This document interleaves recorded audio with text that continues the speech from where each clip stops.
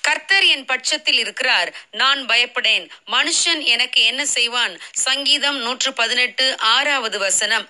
இங்கிலாந்து தேசத்தைச் சேர்ந்த William Wilbur force இளைஞனாக இருந்தபோது அடிமை வியாபாரத்துக்கு விரோதமாக பத்து வருடங்களாக எதிர்த்து குரல் கொடுத்தும் ஒன்றும் நடக்காததை பார்த்து மிகவும் சோர்ந்து போனார். மனதளவில் மிகவும் சோர்ந்து போனவராக தன்னுடைய வேதாகமத்தை எடுத்து ஒவ்வொரு பேப்பராக திருப்பிக் கொண்டே இருந்தார். அந்த வேதாகமத்தில் இருந்து ஒரு துண்டு காகிதம் கீழே விழுந்தது.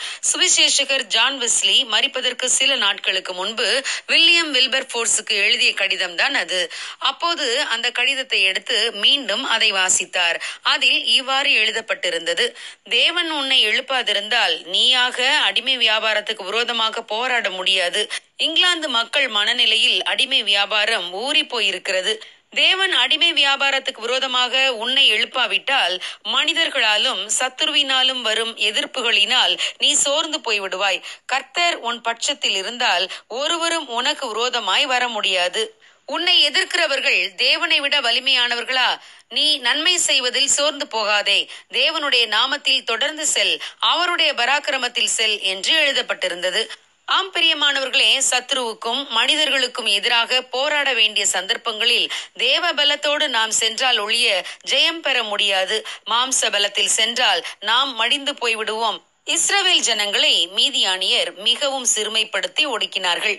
இஸ்ரவேல் ஜனங்களின் விளை நிலங்களை கெடுத்து அவர்களின் ஆடு மாடுகள் கழுதைகளையும் ஓட்டிக்கொண்டு கொண்டு போய்விடுவார்கள். மீதியானியருக்கு பயந்து இஸ்ரவேலர் தங்களுக்கு மலைகளில் உள்ள கெபிகளையும் குகைகளையும் அரணான ஸ்தலங்களையும் அடைக்கலங்களாக்கி கொண்டார்கள். இஸ்ரவேலர் தேவனை நோக்கி முறையிட்ட போது தேவன் கிதியோன் என்ற ஒரு நியாயாதிபதியை எழுப்பினார். ஆனால் கிதியோன் மீதியானியருக்கு விரோதமாக போக பயந்தார். தேவன் அவரை நோக்கி உனக்கு இருக்கிற இந்த பலத்தோடே போ. நீ இஸ்ரவேலரை மீதியானியரின் கைக்கு நீங்களாக்கி ரட்சிப்பாய். உன்னை அனுப்புகிறவர் நான் அல்லவா? என்றார். தேவனுடைய வார்த்தையை நம்பி அவருடைய பலத்தை சார்ந்து கொண்டு சென்றதான கிதியோன் மீதியானியரை முற்றும் முறியடித்தார். ஆம் பிரியமானவர்களே நமக்கு விரோதமாக வருகின்ற சூழ்நிலைகள் பிரச்சனைகள் மற்றும் மனிதர்களை நமது மாம்ச பலத்தில் எதிர்கொண்டால் நாம் தோற்று போவோம் மனம் அடிந்து போவோம். ஆகவே தேவ பலத்தால் செல்வோம். நமக்கு முன்பாக ஒரு பிரச்சனையும் நிற்க முடியாது. தேவன் நமக்கு ஜெயம் கொடுப்பார்.